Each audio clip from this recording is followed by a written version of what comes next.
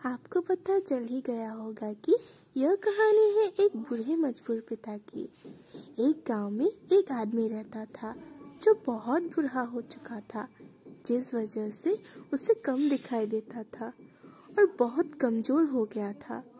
इसीलिए अपनी बची कुची ज़िंदगी अपने बेटे के साथ बिता सके, इसलिए शहर में रह रहे उसके बेटे के घर रहने चला गया।